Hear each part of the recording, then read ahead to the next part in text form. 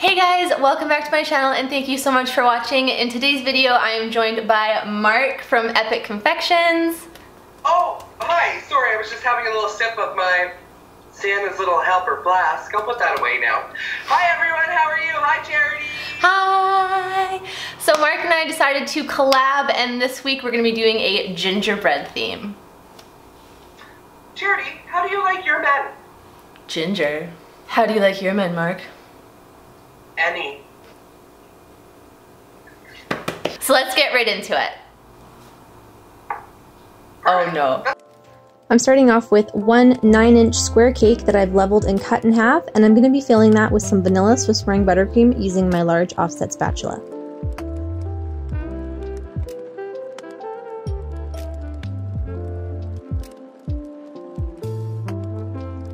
I have my little gingerbread man template that I will link below, and I'm going to start cutting that out with my ridiculously long knife.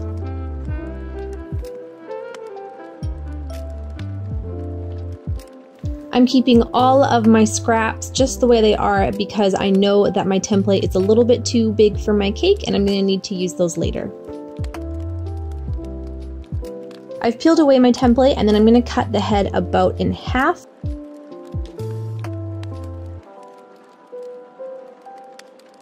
And then after I arrange my scraps in place, I'm just gonna carry on cutting out the head. Of course, if your template is big enough for the cake that you're using, you don't have to do this step. But if you ever are cutting out a template and you're like, oh my god, I don't have enough space, you can always make it work.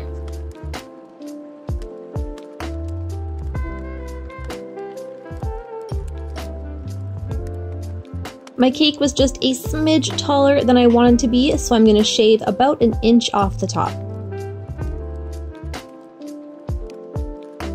Next, I'm grabbing my little knife here and I'm going around the entire cake because I want to round out all of the edges.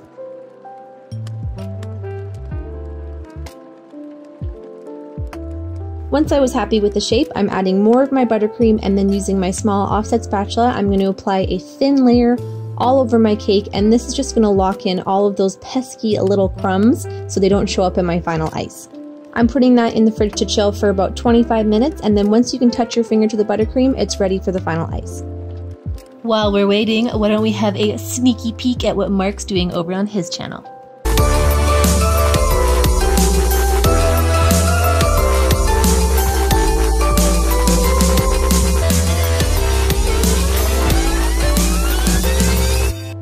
So this time I'm applying a thicker layer all the way around and I'm using my spatula to help me smooth that out as much as I can, but because this is a bit of a rounded cake now, I'm going to use a piece of cardstock. You could also use a piece of acetate, and this is just going to allow you to kind of curve with the cake and really smooth it out.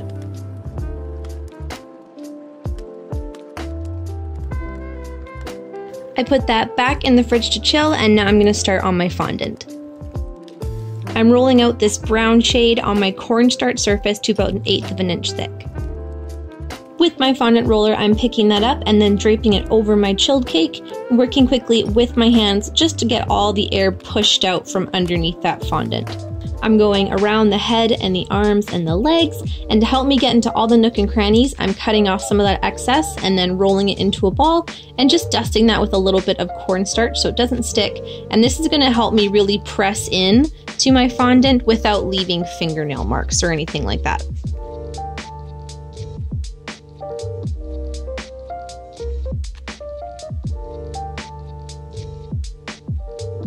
Once it was smoothed down with my X-Acto knife, I'm going around the cake and just cutting away that excess fondant. So at this point, this is what I had going on. You can see there is a little bit of cake showing through in between his legs, but I knew I was going to be covering that, so I'm not stressed about it. I've rolled out some very vibrant green fondant and I'm draping that over his legs, just trying to get it in between there all the way down without it breaking. So focus on that area first, just gently coax it down. You can use your fondant tools if you need to.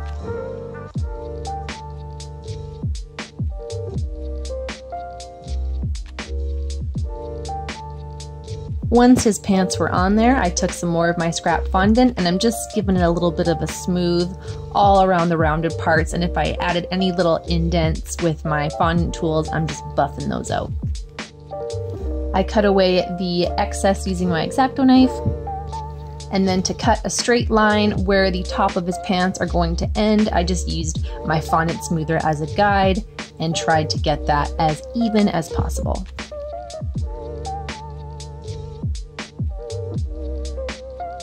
Be careful here that you're not cutting all the way through down through that brown fondant. You just want to cut through the green.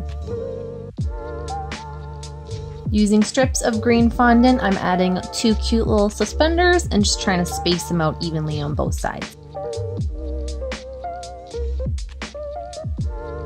I'm starting off with one 9 inch square cake that I've leveled and cut in half, and I'm going to be filling that with some vanilla Swiss meringue buttercream using my large off. With a strip of black fondant, I'm draping that over the top of his pants, and that's going to be his belt. Gingerbread man template that I I've placed a long strip of white fondant over his arm and then I'm going to try to arrange that in kind of a wavy pattern. All of my fondant was sticking together really well, but if you need the extra security, you can just add a little bit of shortening or water.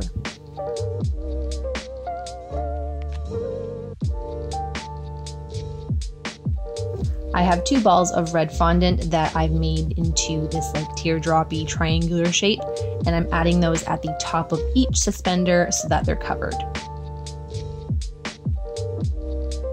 I marked in a couple lines using my fondant tool and then added this little button of red fondant into the middle.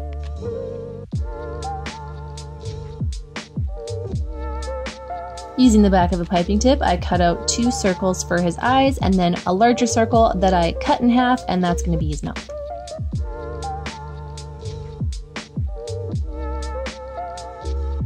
Next, I'm adding two white circles of fondant into each eye for the little catch lights.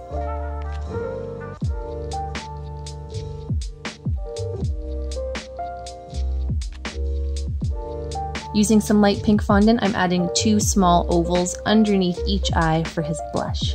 With a circle of that pink fondant, I put it into the corner of his mouth and just trimmed away the excess for his tongue. I've rolled out some white fondant that I'm draping over the top of his head, kind of at a bit of an angle, and I'm gonna cut out a like drippy icing pattern with my X-Acto knife.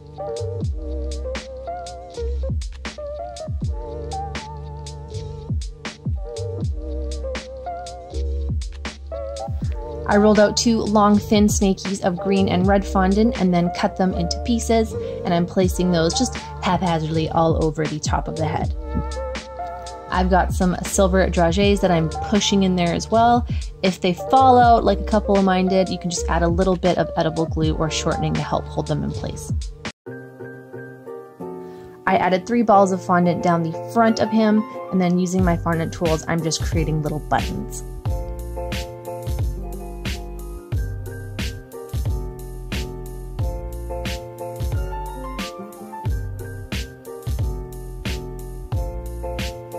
Using some darker green fondant, I just freehanded like holly leaves. They're definitely not perfect, but they did the job. And then three balls of white fondant for the berries that go in the middle. I cut out this tiny little square of white fondant and then cut the middle out of that for his belt buckle, and I'm brushing that with some gold luster dust. With some white food coloring gel on my fine tip paintbrush, I'm drawing some candy cane shapes on his suspenders, and then I mixed some of that white with a little bit of red food coloring for the stripes. I did not show myself drawing those on there, but I just drew on some stripes.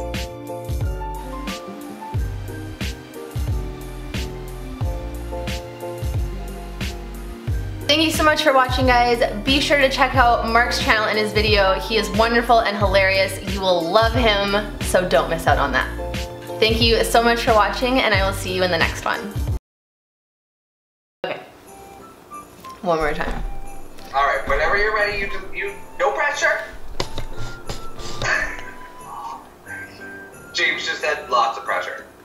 Oh good, you can see my dirty garbage can out on my deck. it's should zoom that in a smidge.